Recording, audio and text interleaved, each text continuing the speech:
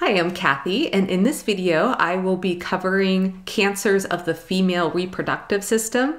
Specifically, I'll be talking about endometrial cancer, cervical cancer, ovarian cancer, and I will also be discussing breast cancer. If you are following along with our medical surgical nursing edition 2 deck, I am on card 30 in the immune system. Let's first talk about endometrial cancer, which is cancer of the inner lining of the uterus. A key risk factor with endometrial cancer is prolonged exposure to estrogen without progesterone. And a key symptom of endometrial cancer is postmenopausal bleeding. So, if your patient has gone through menopause and she's not getting her periods anymore, and suddenly she has a new onset of bleeding, that would be suspect. Okay, next we have cervical cancer, which is cancer of the cervix, and it is typically caused by HPV. A key symptom of cervical cancer is painless vaginal bleeding. The good news is, is that we can prevent many occurrences of cervical cancer with use of the HPV vaccine. With this vaccine, you get three injections over a six month period of time, and that helps to prevent HPV, which in turn helps to prevent cervical cancer. In terms of screening, we do this, um, we screen for cervical cancer with pap smears. Pap smears are performed every one to three years, depending on the risk profile of the patient. We usually start doing pap smears about three years after sexual intercourse or by age 21. Then lastly, we have ovarian cancer. This is where we have an epithelial tumor that grows on the surface of the ovaries and spreads rapidly. So symptoms of ovarian cancer are very vague like some GI disturbances.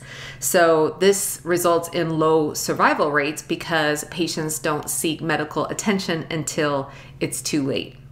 So, one thing I wanted to mention in this video is that um, about a year ago, I had a patient with ovarian cancer, and one of the um, patient care assistants, unbeknownst to me, asked her, "Well, why didn't you get your um, Pap smears? You know, annual annual Pap smears?" Well, there's all sorts of things wrong with that question, right? It's completely untherapeutic. First of all, she asks why, which is always wrong, right?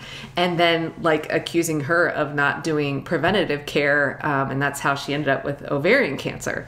And then, lastly, it's completely inaccurate, right? Because pap smears test for cervical cancer only. They screen for cervical cancer, they have nothing to do with ovarian cancer. So just keep that in mind. Definitely don't make that mistake um, when you get out there and start your nursing career. Okay, in terms of treatment for these different types of cancer, we can use chemotherapy, we can use internal or external radiation. So, internal radiation is called brachytherapy. We can also use ablation therapy, and then we can perform surgery to remove the affected organ. So, a hysterectomy is removal of the uterus, a salpingectomy is removal of the fallopian tube, and an oophorectomy is removal of an ovary. All right, now let's talk about breast cancer. Screening for breast cancer is done through mammograms, and it's recommended that women get mammograms annually starting at age 40 in addition to monthly breast self examinations.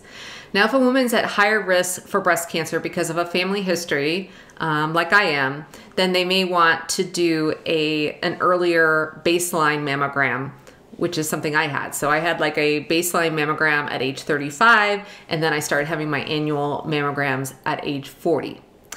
In terms of risk factors, genetics definitely plays a role. Also, if a woman had early menarche, which means she had like early onset of periods or late onset of menopause, those are risk factors for breast cancer. So basically, the longer she was bleeding, like through those reproductive years, that does place her at, um, at higher risk. Other risk factors include long term use of oral contraceptives as well as hormone replacement therapy, and then smoking and obesity are other risk factors.